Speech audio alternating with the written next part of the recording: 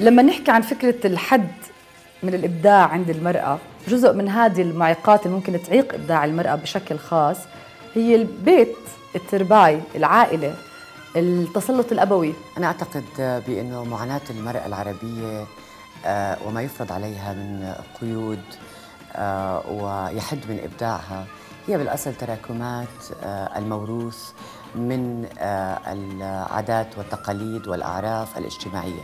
هذا الموروث سواء كان اقتصادي أو اجتماعي أو سياسي دائما يعامل المرأة كمواطن من الدرجة الثانية ويعطي الذكر تمييز عنها أو يجعله مواطن من الدرجة الأولى.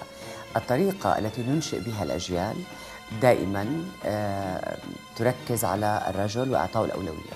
أذكر الكاتبة الكبيرة نوال السعداوي حين قالت في إحدى رواياتها أنها كل ما نادتها أمها بكلمة بنت لا شيء يخطر في بالها إلا أنها ليست ولد. القيود اللي موجودة بحياتنا كمبدعات عربيات أحيانا بتكون إلها شيء إيجابي أو أحيانا بتكون بشكل تعمل من اجلنا بشكل إيجابي. لأنه قيود اللي هي موجودة على المرأة على سبيل المثال الإيرانية دفعتها دائما للمرأة الإيرانية لأنها تبدع وفي نساء إيرانيات سواء كانوا مخرجات أو عاملين بالمجال الإبداعي ما بنقدر غير إنه نوقف كثير عند أعمالهم و... ونسرح كثير إنه رغم كل التحديات الموجودة عندهم إلا هن قادرين إنهم آه، يتحايلوا عليها.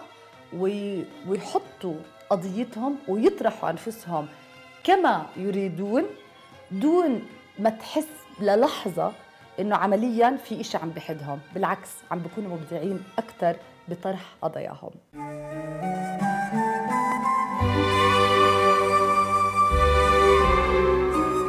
كيف نقدر آه، نطلع إبداعنا الفني اللي يعني بهذا الشيء آه، إلى مجتمع كندي؟ فعملنا آه، معرض اسمه Arab Winter. كنا مجموعة خمس عراقيين واثنين تونسيين. كلنا فنانين تشكيليين. من ضمنهم يعني شغلي وأفكاري وشغل أختي تمارا شغل أمي سوسن ومعانا أربع لا ثلاث آه، رجال. اثنين آه، تونسيين السيد وكريم جباري وذا كمان عراقي آه، كندي هو كان بروجكت دا أشتغل عليه صار لي هسه ثلاث سنين. اسمه Picture an Arab Man يعني صور الرجل العربي. وهي مجموعة من صور شباب عرب semi nude يعني مش ملابسين بلوز. آه، هي هاي ال project اشتغلتها عشان أحاول أكسر الصورة النمطية. أني أحس أنه محطوطة على الرجل العربي. آه، وهواي ناس سألوني ليش ما سويتي الإمرأة العربية؟ ليش تسوين رجل عربي؟ وأنا أتصور أنه الإمرأة العربية هي ويا عقاباتها وهذول الأشياء حتى الصورة النمطية الغلط المحطوطه عليها من الغرب. آه، أكو ناس آه، يحجون بهالموضوع أكو آه، يعني فن وكتابة وهالأشياء. بس أني تصورت أنه أنه الرجال العربي ما كان يعني ما حدا يحكي عنه.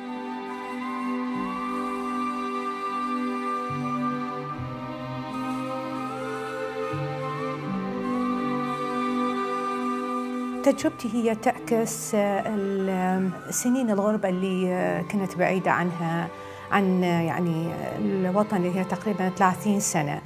هي بالضبط تعكس الآثار اللي يتركها الشخص بالبيت اللي هو ينتمي إليه آه ولما يترك هذا البيت يعني آه ملكه آه وناس غربة تجي تأخذ هذا البيت وتترك كمان آثار عليه. فهذول ال traces آه، بالأخير راح تعطي حياة جديدة لهذا البيت ال ال يعني المتروك أو ال مثل ما نقول abandoned homes.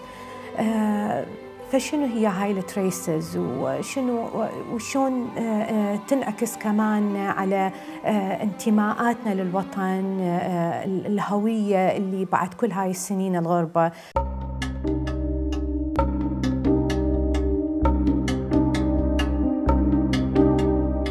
الواحد يكون متفائل ويفكر إنه عن جد بكرة أحلى.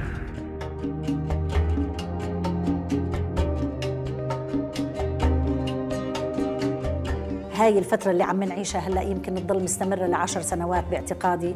وما في ثورة إلا بيكون ما في بعدها ما بعد الثورة. ثورة بتقوم على ثورة.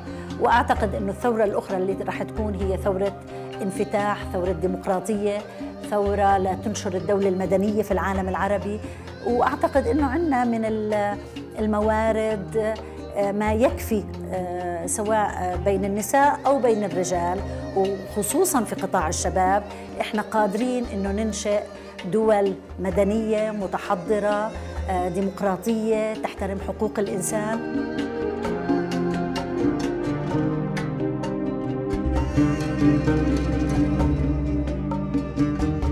المرأة العربية طول عمرها تعاني من التمييز ضدها في في الحقوق والواجبات فيمكن هذا ما رح يكون كثير جديد عليها علما بأنه التمييز ضد المرأة من ناحية الحقوق والحريات في تفاوت بين الدول العربية. ففي دول تنعم بحريات أكثر للمرأة ودول تحد يعني من آه، تحرك المرأة بشكل آه، اللي يساعدها إنها تعبر عن إبداعاتها. آه، أما بالنسبة للأنظمة الجديدة في أو المتوقع منها آه، فالتطرف الديني يحد من إبداع المرأة والرجل. يعني أي نوع من التطرف سواء كان ديني أو في العادات والتقاليد هو بحد ذاته آه، يقف عائقا أمام الإبداع وأمام التفكير الحر وأمام الإنتاج الفني والثقافي حتى العلمي في بعض الأحيان.